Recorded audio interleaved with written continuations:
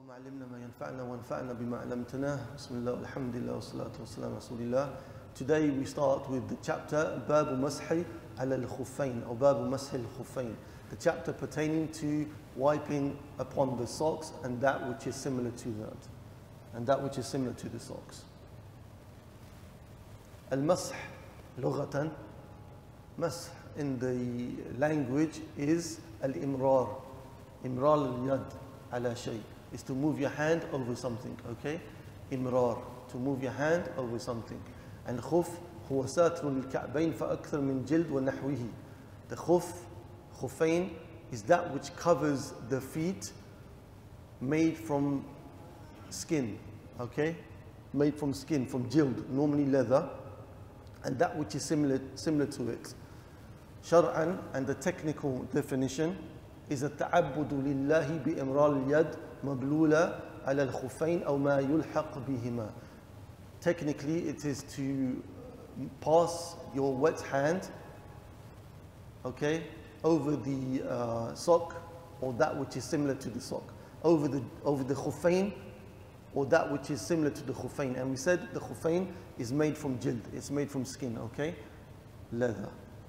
In Bukhari and Muslim, we have the hadith of the Prophet ﷺ narrated by Mughira ibn Shu'bah who said كنت مع النبي صلى الله عليه وسلم فتوضأ I was with the Prophet صلى الله عليه وسلم and he made wudu فهويت لأنزع خفيه فقال دعهما فإني أدخلتهما طاهرتين فمسح عليهما He said as the Prophet صلى الله عليه وسلم was making wudu I went to go I went down to try to remove his socks The Prophet صلى الله عليه وسلم said دعهما leave them for verily I have put them on in a state of tahara okay, whilst being in a state of purification. And then the Prophet ﷺ wiped over them. So this is a proof that wiping of the socks is something which is mashru', something which is legislated. Okay? And Imam Ibn Mundhir, rahimullah ta'ala, in his book Al-Ijma' he said that there is consensus that you can wipe on the socks. There's consensus that you can wipe on the socks. And the Hanabila scholars, the Hanbali scholars, they say it's better for you to wipe than to wash if you had the choice, should I wipe on my sock or should I take my sock off and wash my feet? They said it's better for you to wipe than to wash. Because Imams Nisa'i and Tirmidhi, they collect the hadith of Safwan ibn Asal radiyallahu anhu who said, كان النبي صلى الله عليه وسلم يأمرنا إذا كنا سفرا ألا ننزع خفافنا ثلاثة أيام ولياليهن إلا من جنابة ولكن من غائط وبول ونوم he said the Prophet ﷺ would command us that if we were traveling, not to remove our socks for three days and three nights. Not to remove them. It was an order from the Prophet ﷺ. Except for in the state of janaba. If we were in a state of janaba, we had to remove them. But in the state of breaking our wudu, for having visited the bathroom or falling asleep, then no. Okay, it was, we would wipe instead. So what is the wajh dalala from the hadith? That it's better to, wash, better to wipe than wash.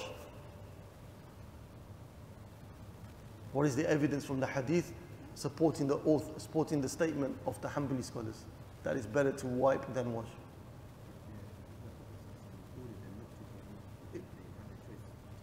Exactly. So the command of the Prophet ﷺ here was to wipe, right? So herein, obviously, it's understood that wiping is better than washing.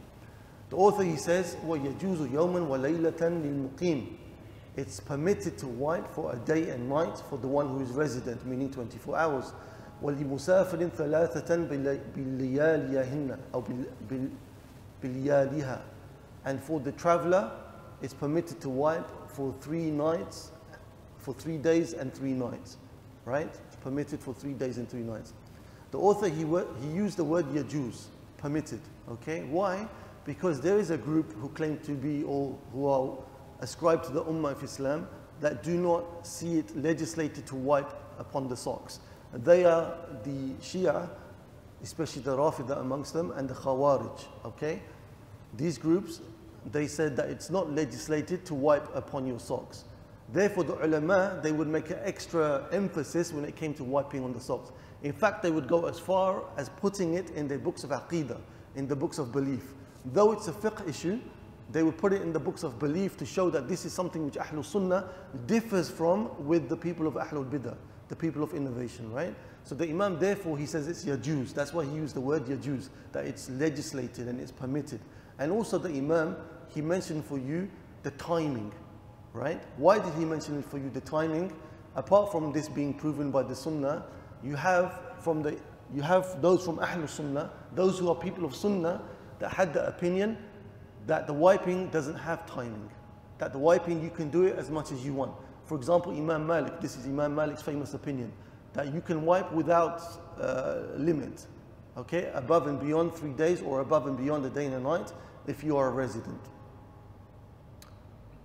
In Sahih Muslim, in Sahih Muslim, Ali radiallahu anhu, he said, جعل رسول الله صلى الله عليه وسلم ثلاث أيام ولياليهن للمسافر ويوما وليلة للمقيم that the timing, as mentioned by Ali radiallahu anhu in Sahih Muslim, that the Prophet ﷺ made the wiping for the travel three days and its nights for the traveler and the one who is resident a day and a night.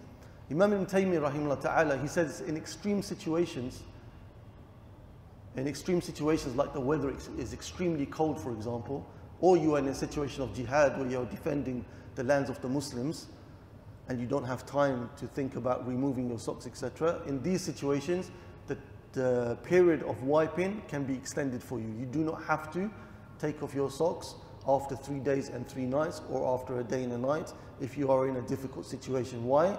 Because الضرورات تبيح المحظورات okay, that which is um, that which is forbidden for you, due to necessity, that forbiddance is foregone. Okay, due to necessity, that forbiddance is foregone. And also pertaining to this part of the discussion with regards to the wiping of the socks, we mentioned that the traveler can wipe for how long? Three days and three nights. But there is a category of travelers that cannot do the wiping. It is those travelers who travel with the intention of ma'asi.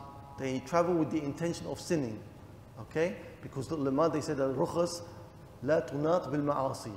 That the rukhsa, the, um, what's the, how would you translate rukhsa? The concession, the concession is not given or is not founded due to sinfulness or because of sinfulness, right? Why? Because if you were to give a concession to somebody whose intention to get that concession is based upon sin, it's as though you are affirming his sin, as though you are legislating for him, validating his, his uh, reason or ability to sin. And therefore, the ulama they say that if a person is traveling with the intention to sin, then he is not allowed to take the rukhsa of wiping for three days and three nights, and three nights, or one day and one night if he's not a traveler. The author he said, "Min hadathin ba'da lubs." So when does the time start for either the resident or the traveler? According to the author and those who agree with him in the madhab, they say from the time of the hadith, after he has worn the sock. What is hadith? As we said, it is that you break your wudu, okay? Or you do something which requires you to make ghusl, okay? So in this situation, that is when the time period starts for you to wipe your socks. So let's say, for example, you put your socks on at 12 p.m. And then at 3 p.m., you broke your wudu. So when do you have to wipe the next time? When do you have to take your socks off and redo the wudu? You have to do it the next day at 3 p.m. Okay, after 24 hours. طيب? And the illa for this, the reasoning for this, the ulama they say, is because what is the reason for you to be wiping? The reason for you to be wiping is the fact that you have now broken your wudu. That is the sabab. So the timing of this uh, which you are allowed to wipe has to start from the sabab, which is that you broke your wudu. So whenever the wudu is broken, that is the time at which your timing will start. Okay? Another opinion in the madhab, they say, no, it's not from when you have broken your wudu. It's not from the hadith, rather it's from the timing of the wiping, from the masah. And this is held by Sheikh Sa'di and Uthaymeen rahimahullah ta'ala, as well as others okay? Because it comes in some narrations of the hadith that the Prophet ﷺ used the word masah. Okay, so masaha is from when the timing starts. So in this situation, if you were to wear your socks at 12, okay, and you broke your wudu at 4, but you didn't wipe until 5. So comparing that to the previous situation, you get extra time. Because according to the author and the standard opinion in the madhab, when does your timing start? Hadith. But according to the other opinion, it starts from the wiping whenever you wipe, which gives you extra time. And this opinion may be more in line with the correct understanding. Why? Because the whole point of the rukhsa, of rukhas, is to give you ease. So the more ease you are given, the more in line it is with the understanding of rukhsa. And Allah subhanahu wa ta'ala knows best. The Imam, he says, he gives now some conditions as to what type of sock can be wiped on. He says, ala tahirin, upon that which is pure, mubah, permissible, satir lil mafrud, covering the obligatory part of the foot, which needs to be washed. يثبت بنفسه, and it stays up by itself. So he mentions these four things. The first of them, he says that it has to be tahir. What he's referring to here is what? Is it uh, that has to be tahir ayniya or tahir hukmiyan? You remember these terms that we took before? Tahir ayniya is that the essence of the material itself is pure. This is what he's referring to, that it has to be pure and not from made from something which is najas. However, if your socks are pure in material, in essence, yet they have najasatul hukmiya or najasatul ta'ira comes upon it, what did we say that was? That was like, for example, if you have a carpet which is pure, but then a child urinated on the carpet. Now this is a najasatu al-hukmiya. This is the najasa which is not in essence part of that material. So it can be removed, right? So if you have a sock which is pure, but you have, for example, a drop of urine on, urine on it, azakumullah, then in this situation, you can still wipe on the sock, okay? You can wipe on the sock, but you cannot pray in it.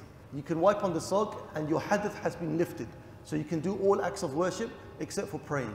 When it comes to the salah, you have to ensure that the sock itself is pure from both types, in, in both ways.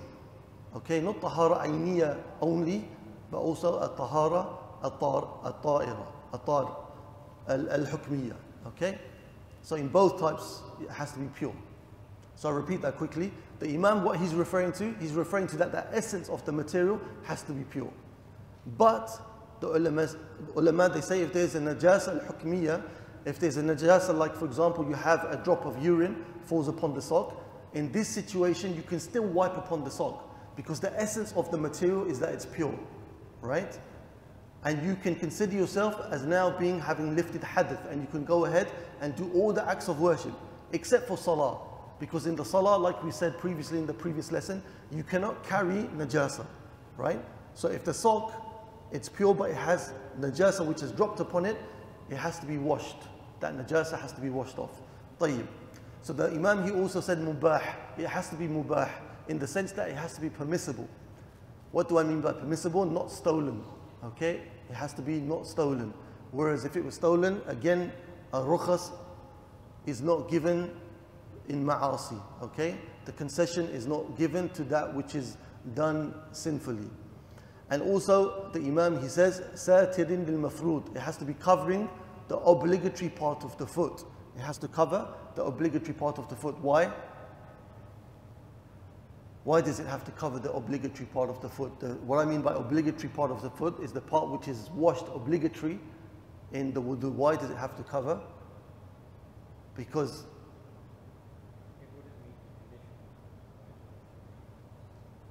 Exactly. It, this is a condition for it to cover. But why? Because they say al-hukm, uh, al-badal lahu hukm al-mubdal. Al-badal lahu hukm al-mubdal. That the replacement has the same ruling as that which is replacing. Meaning that it has to cover, in terms of purification, that part which is obligatory on the limb to be washed. Okay, so that part which is obligatory to be washed has to be wiped okay, or covered wherein the wiping will take place. Some of the ulama, they mentioned that there's a fifth condition, not mentioned by our author. Some of them they mentioned, sorry, before going on to the fifth, the fourth one was that the sock should stay up by itself. Because if the sock doesn't stay up by itself, it's too loose, it falls down, then it's not considered in definition as being a sock. Okay? It's of no benefit. If the sock is falling off your feet all of the time, every time you move, it's of no benefit. So it doesn't fall under the category of what you are allowed to wipe. طيب. Some of the ulama, they mention a fifth condition which the author hasn't mentioned, which is that you should be able to walk in them. Why? they said that when these verses were revealed, وَأَرْجُلِكُمْ because one of the ways that the verse is narrated is instead of arjulakum with fatha, which means that it's washing, arjulikum with the kasra, which means that it goes back to the wiping of the head, which means that you can wipe on the feet. So the ulama they say that the revelation of this verse, okay, wa arjulikum was in the time when the Sahaba, the norm of their behavior was that they would walk in their socks. So the socks also have to be from that which you can walk in. Okay? This is the fifth condition that the ulama mentioned. He then says the author, min khufin wa jawrabin safiqin wa nahwihima. From the khuf, and we said that the khuf is that which is made from skin, okay? Normally made from leather, that which is made from skin, right? Or the jawrab. The jawrab is considered what we know as, as um, socks, socks made from cotton, etc., okay? But it has to be safiq. The Imam mentioned safiq, which means that it's thick enough to the extent that it doesn't show your skin It's thick enough to the extent that it doesn't show your skin. Why is that? Why does it have to be thick enough, the material, to the extent that it doesn't show your skin?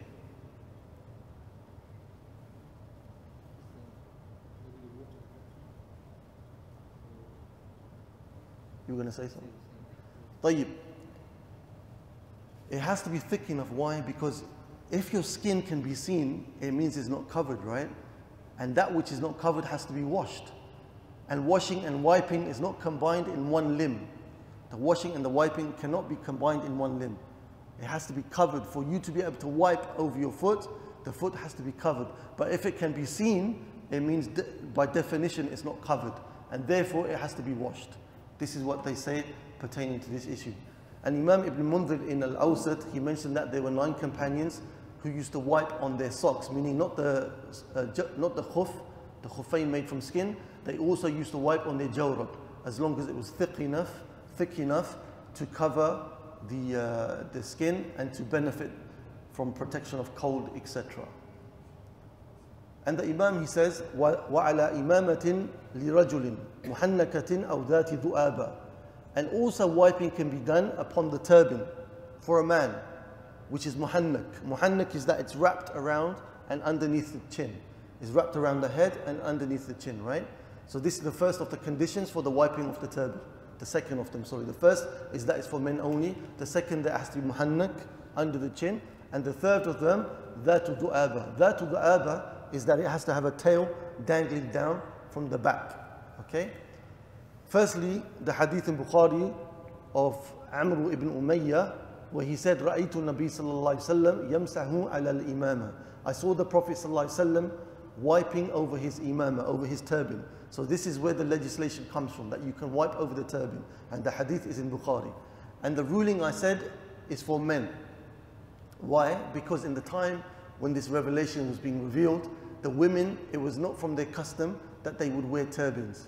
Right? It was not from the custom that they wear turbans. It was only for men. And the Prophet ﷺ in Bukhari, he said, or it's narrated about the Prophet ﷺ, لعن رسول الله صلى الله عليه وسلم المتشبهين من الرجال بالنساء والمتشبهات من النساء بالرجال that the Prophet ﷺ cursed those men who would try to resemble women and cursed those women that would try to resemble men, meaning in their dress and in their behavior. We have a lot of that taking place in today's societies, right?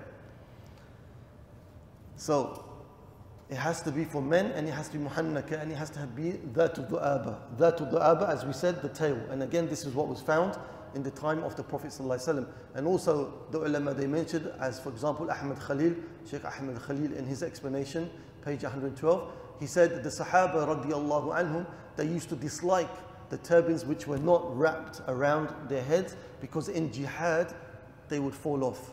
So this was something that was well established in their tradition, in their time, that the turban either had that du'aba, a tail, or it'd be the one that was wrapped. Other ulama, they said no, any type of turban is allowed, okay? Because now even in, uh, you find, for example, in Egypt and other countries like Lebanon, that you have the turban which is not muhannak, it's not wrapped, nor does it have the tail which is hanging down. Before they used to say that this was specifically the dress of the non-Muslims because the Christians used to wear this type of turban. But over the centuries, it's now become common for the Muslims to wear that type of turban.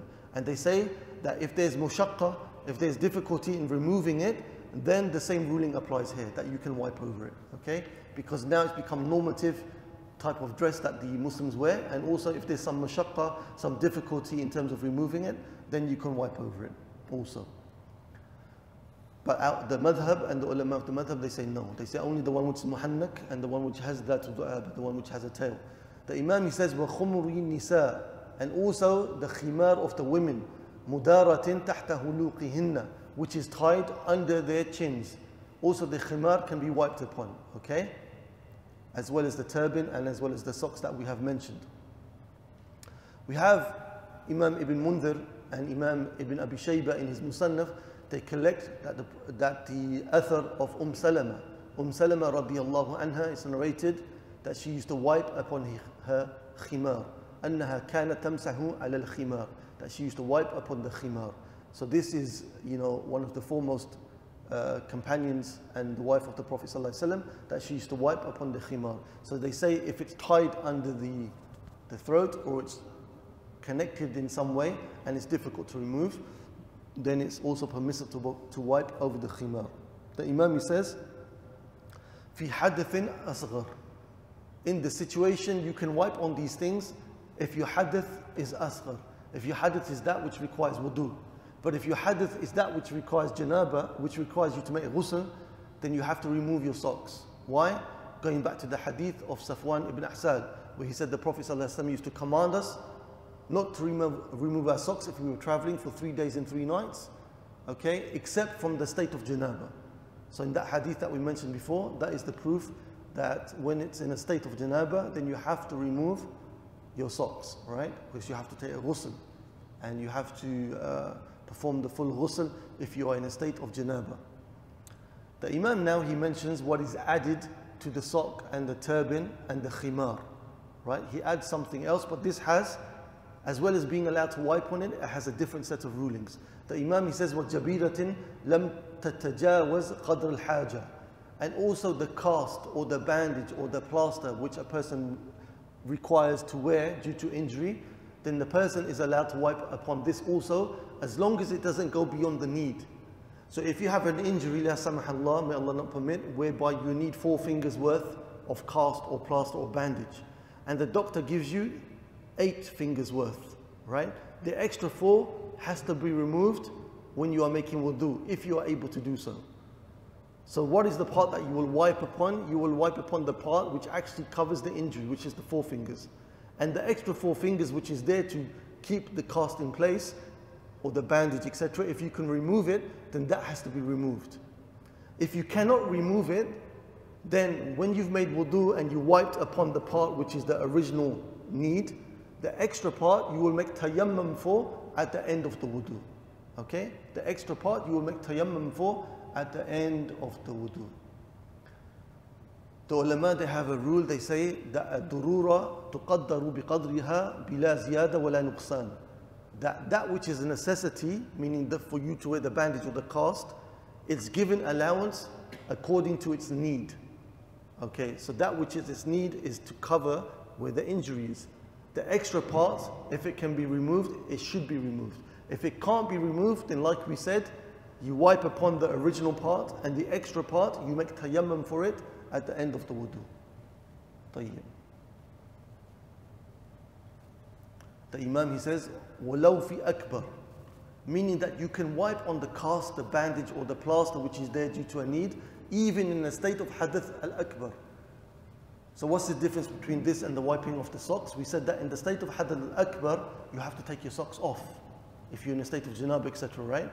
But in the state of Hadith al-Akbar and you have a cast or a plaster or a bandage, you don't have to remove that, obviously, right? Because it's there due to a need. So this is one of the differences.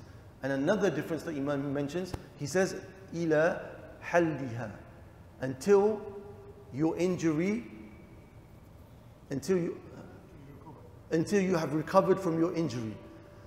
So the wiping of the socks, the wiping of the turban, and the wiping of the khimar for the women is regulated by time. 24 hours for the resident and 72 hours for the traveler. But not this bandage situation or the cast situation or the plaster. You can keep it on and you don't have to remove it as long as you require it, even if that's for a month. Okay? as long as you require it The Imam he says, إذا لبس ذلك بعد كمال طهارة. If that is worn after having completed purification, meaning after having completed your wudu. What is, it, what does that refer to? If that is worn, it refers to all of these wipings, the four wipings, right? The wiping of the sock, the wiping of the turban, the wiping of the khimar, and the wiping of the bandages, and that which is similar to it. He said you can wipe on these things if they are worn after, after what? After the complete wudu has been made, the complete tahara. Why? Because if you go back to the hadith of Mughira that we mentioned before, he said that when the Prophet ﷺ was making wudu, فَأَحْوَيْتُ لِأَنْزِعَ خُفَيْهِ I went to move his socks. And the Prophet ﷺ said, دَعْهُمَا Leave them alone. فَإِنِّي أَدْخَلْتُهُمَا طَاهِرَتَيْن For verily I have put them on whilst being in a state of purity. Meaning that Prophet ﷺ completed his wudu and then put the socks on. So the ulama, they say, if when you are making wudu and you want to wipe on your socks, if you made wudu and you put on one sock, right? If you made wudu and you put on one sock and then you wiped over that sock, and then you made, uh, then you washed the second foot, and then you wiped over that sock after putting the sock on. They say your wudu is not valid. Why? Because the condition is that you have to have complete purification first, which is the completion of the wudu, and then you, must, then you can put your socks in and wipe them. Right? So you cannot do one foot and then wash the other foot and wipe on the other foot. No, it cannot be like that. It has to be complete wudu, then you put your socks on. Okay? Then you put your socks on.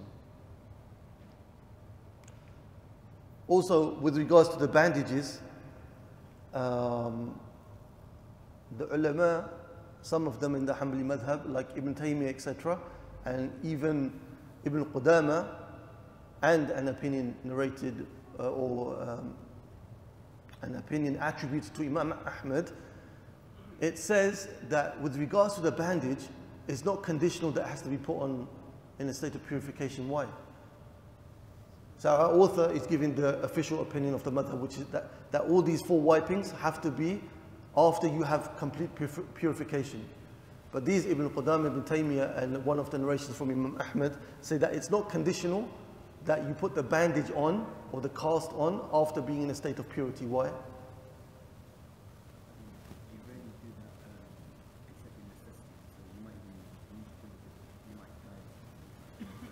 Exactly, you can't control the state and the situation that you're in, in that emergency state whereby you have to put on the bandage or the cast. You may not have time to make tahara. It's not natural for you to say, okay, don't put on the bandage, let me, let me make wudu first, and then put on the bandage or the cast. That's not a natural situation. You can't control that situation. And as the rule says, al-mashaqqa tajlibu taysir. That difficulty brings about ease. Okay, so in a state of difficulty, the rulings are lifted due to bringing about ease.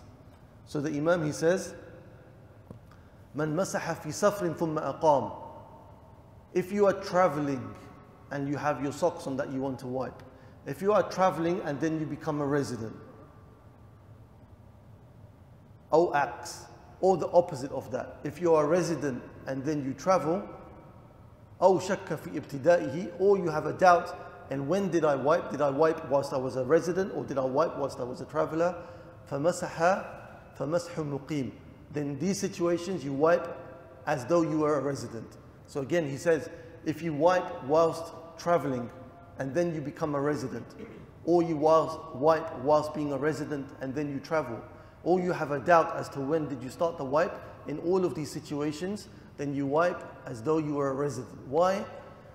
They say, إذا اجتمعت الحضر والسفر نغلب الحضر احتياطا they said, if you have a situation whereby in that act of worship, the, the wiping of the socks, you have part of it was done whilst resident and part of it was done whilst a traveler, then we give the ruling to that which is residence. Why? Because ihtiyatan, out of carefulness.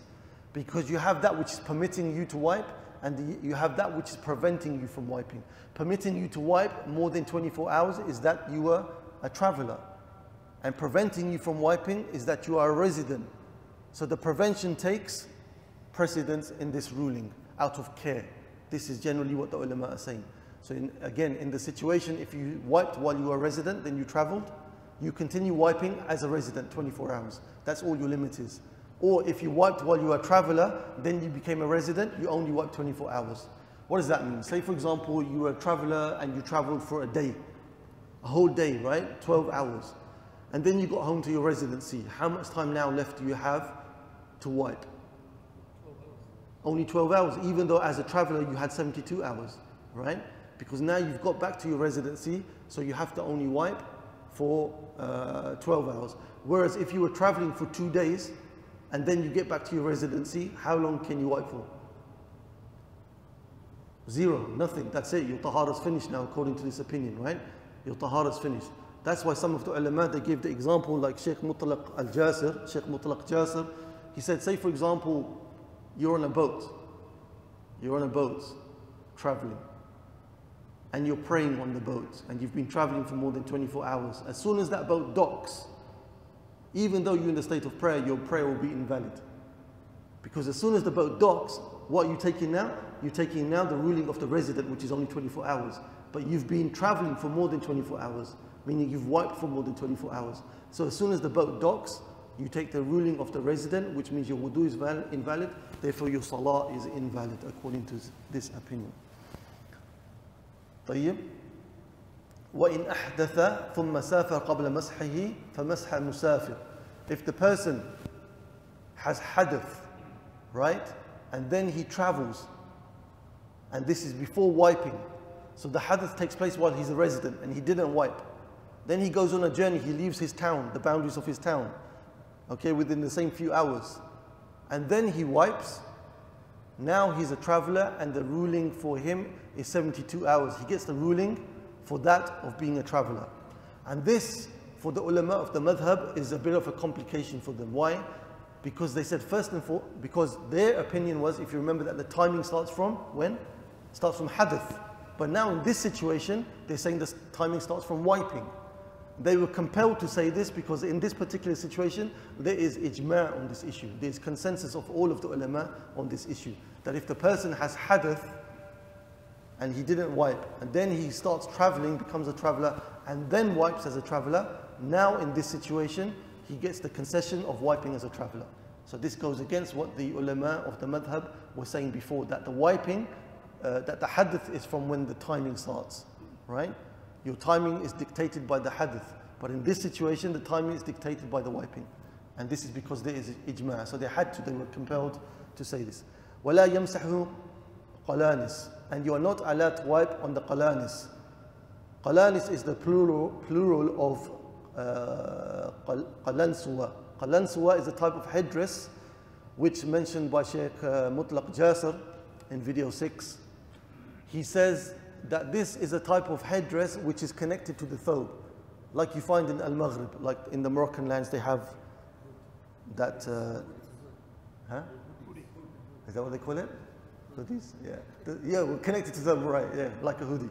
So they said this is what it's referring to. And other ulama, they say it's any type of headdress which is worn, right?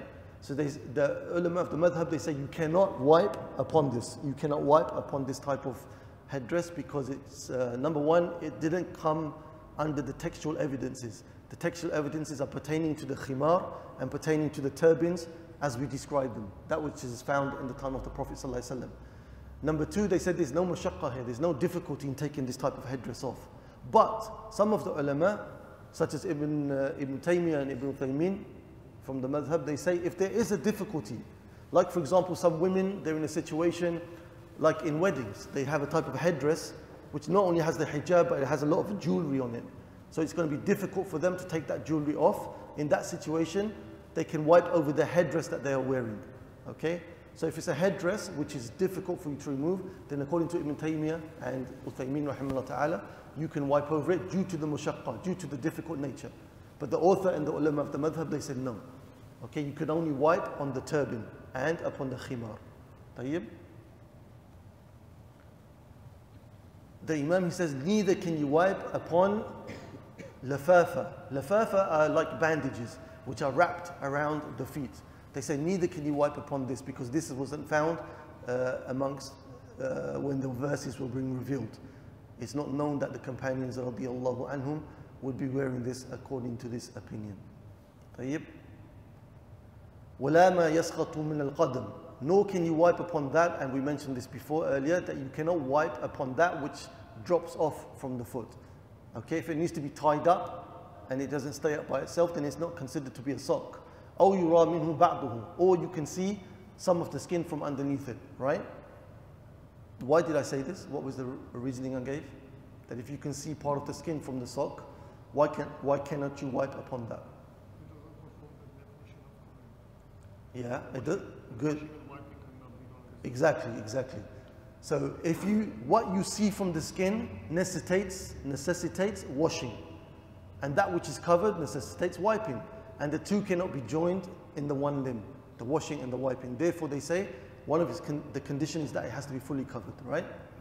So the Imam he says in the last few sentences, وَإِن لَبِسَ خُفًّا عَلَى خُفٍّ قَبْلِ الْحَدَثِ If a person has put on his socks after making wudu, and now in a state of wudu, he hasn't broken his wudu. He puts on another pair of socks. What is the ruling here? The ruling here, فَالْحُكْمْ لِلْفَوْقَانِ Then the ruling is given to the upper sock.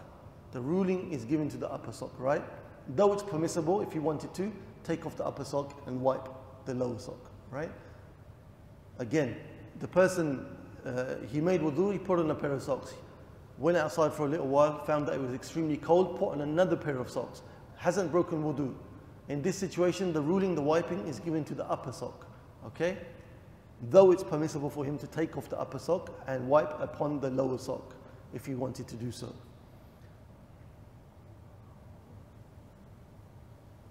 وَيَمْسَحُ أَكْثَرَ الْعِمَامَةِ And he must wipe, must, obligatory upon him to wipe the majority of the turban, except the sides. Okay, the majority of the turban, he has to wipe it, but not all of it. So the rukhsa is that he doesn't have to wipe all of it. He has to wipe the majority of it. What if part, what if the turban moves and part of his head is shown? The nasiya, for example. The turban moves back and this much of the head is shown. What does he do here? He wipes that also. Okay? So whatever is shown from the head, he wipes that also with the, uh, with the turban. But it doesn't, it's not like the sock. We said the sock, if the sock uncovers part of the foot, then you can't do the wiping, right? But the turban is not like that. The turban is the majority of the turban has to be wiped, not all of it. And also, if it moves and covers part of the head, then that doesn't affect the validity of the wiping of the turban. And the Imam says, وَظَاهِرِ قَدِمِ الْخُفْ With regards to the khuf, you have to wipe the top of the khuf. مِنْ أَصَابِعِهِ إِلَى سَاقِهِ From the toes until the shin. Okay? دُونَ أَسْفَلِهِ وَعَقِبِهِ excluding the bottom of the, uh, the sock and the back of the, uh, the heel. You don't have to wipe the heel. All you have to do is wipe the top. Because Ali radiallahu anhu, is collected by Imam Ahmad and Abu Dawood, he said, لو كان الدين برعي had this religion been based upon the intellect alone لكان لكان أسفل الخف أولى بالمس أولى بالمسح من أعلاه it would have been that the bottom of the foot is more deserving of being wiped than the top of it. وَلَقَدْ رَأَيْتُ رَسُولُ اللَّهِ صلى الله عليه وسلم يمسح على ظاهر خفيه. And verily I saw the Prophet صلى الله عليه وسلم wiping upon the top of his sock. So he's saying رضي الله عنه that you only have to wipe the top of your sock. How did I say you have to wipe it? From the toes up until the shin, right? What if you do the opposite?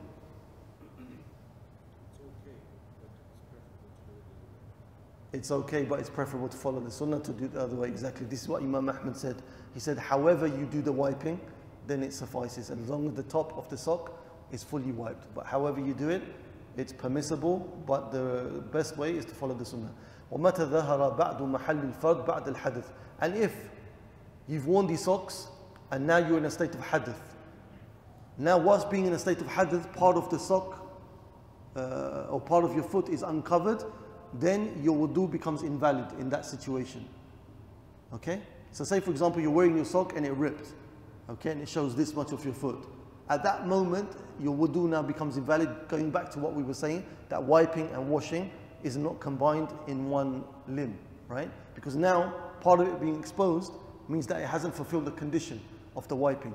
So in this situation, it becomes invalid, right? أو تمت مدته or the duration for the wiping has completed. Now your wudu at that moment after 24 hours or 72 hours is broken, is considered broken. Ista'nafa at-tahara, then the person has to redo his tahara.